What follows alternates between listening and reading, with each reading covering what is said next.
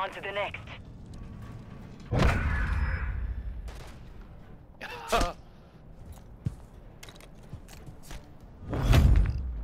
Made him look silly.